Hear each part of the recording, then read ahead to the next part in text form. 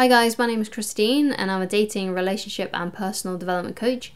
And today I'm talking about whether or not you should message your ex on special occasions. So, you know, no contact means no contact, right?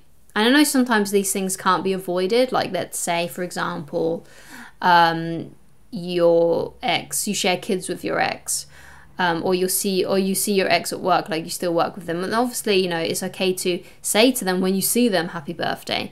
But you shouldn't really be um, messaging your ex uh, for any reason whatsoever, especially if you are trying to reattract them. Like, if you think there's hope that you can attract this person back into your life, then you need to stay in no contact with them, especially if the breakup was their fault, especially if they were the one to break up with you and you still want the relationship to work out. If you still want the relationship to work out and uh, they don't want the relationship to work out, they're the one that broke up with you, then you can't really do anything to um, make them want you more. The only thing you can do is to give your absence because that's the only way they're going to miss you. They can't miss you if you're in their DMs, and that includes when you wish them a happy birthday or you wish them happy new year or um, you wish them their cat a happy birthday or something like that. Like, don't send them a message on special occasions unless it's absolutely necessary, like you work with them and you can't avoid them on their birthday or something then of course you can go up to them and say happy birthday,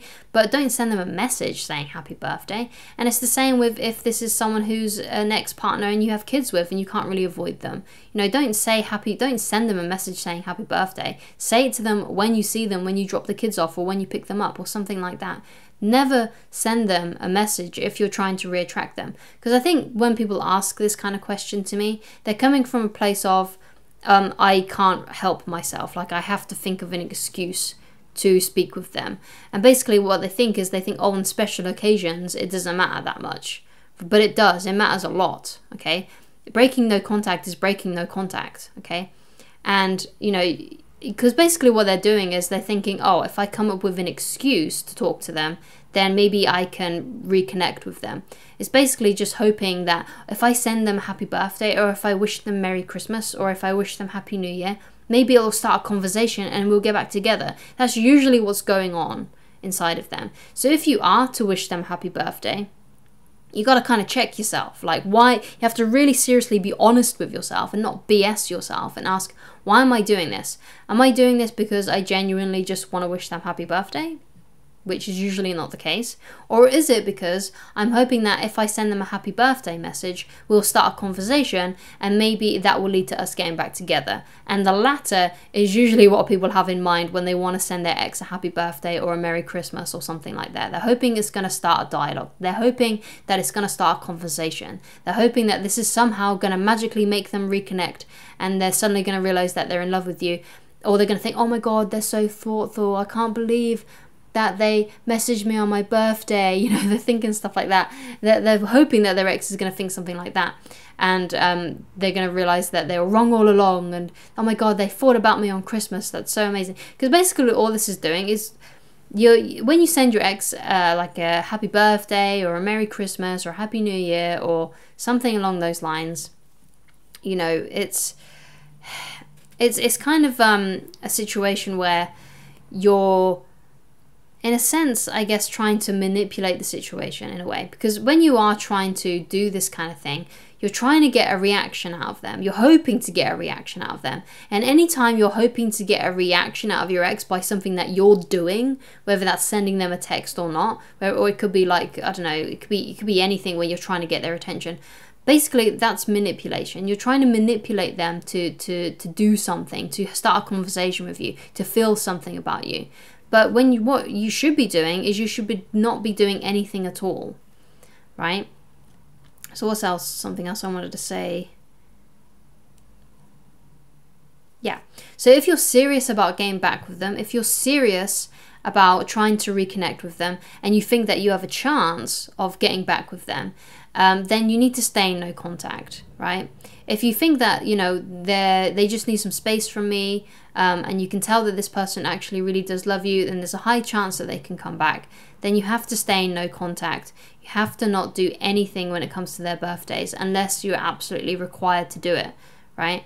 Because if you're honest with yourself, you know the only reason why you want to send them a message is because you're hoping that somehow this is going to lead to something else right? So you have to be really, really, really honest with yourself.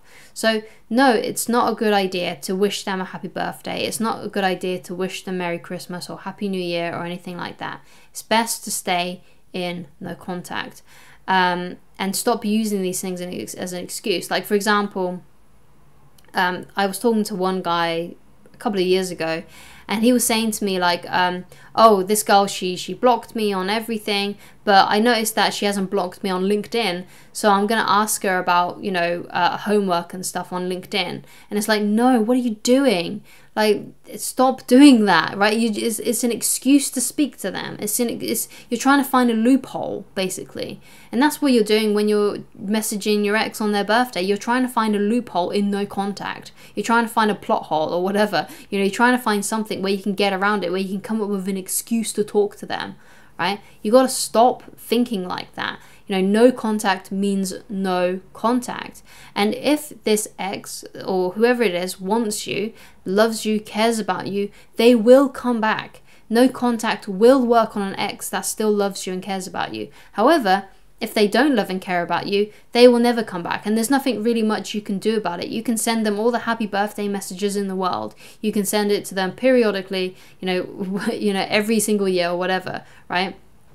Um, it's not going to do anything. It's not going to make the situation better. It's not going to make them change their mind about you if they are super serious about not getting back with you and they've moved on. But you know, if if they do, if they if you do have a chance of them coming back, no contact will work on them and they will reach out eventually. You've just got to be patient, right? You have to be patient because basically if you want to mes- message them on their birthday and you want to break no contact, basically what you're doing is you're not being patient. You're saying to yourself that I can't handle this, basically.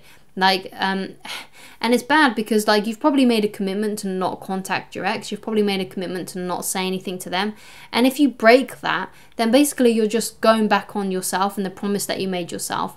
And that's not going to make you feel very good. You have to stay with. You have to stay with the promises that you've kept for yourself. Like, for example, if you've promised to get up at 6 a.m. every morning and that's when your alarm goes off and you promise to always get up at 6 a.m., you're going to feel really crappy if you hit the snooze button, right? Because you, you've gone against your own promises, you've gone against your own integrity, right? And you can't do that especially when it comes to these kinds of emotional things where you've promised to do this kind of thing because if you do message your ex, it may be the case that you've completely sabotaged the situation. And you don't want to sabotage the situation, especially if you do want to get back with them. So it's not a good idea to um, contact your ex, um, especially if you're trying to do no contact. Um, you know, and the, the find you know messaging on their birthday isn't a loophole. It's just you being impatient. Okay, so you have to be patient. You have to be patient. You have to stick to to what your plan was. And if your plan was to stay in no contact and to just give them a bit of time to see if they do come back, then you have to stick to that plan. You have to stick to that plan. Um, and you have to stick by the promises that you've made to yourself as well. Because if you don't, you're just going to feel rubbish about yourself. Okay. So, yeah, that's my advice on, you know, whether or not you should send your ex um, a message on special occasions like their birthday, New Year's, Christmas. Um, it's a good idea not to do it. So that's my advice. Best to not do it. And, um, you know, because again, you know, you have to realize where your intentions are coming from. And most of the time, your intentions are coming from the wrong place. You're doing it because you just want to speak to them. Okay. Which is fair enough because you miss them. But, you know, if you really want them back, you have to stay in their contact. So if you'd like to get in touch with me personally, then please go to www.christineloveridge.com. Um, if there's anything you'd like me to discuss in a future video, then please leave it down in the comments. And I shall talk to you guys again very soon. Goodbye, guys.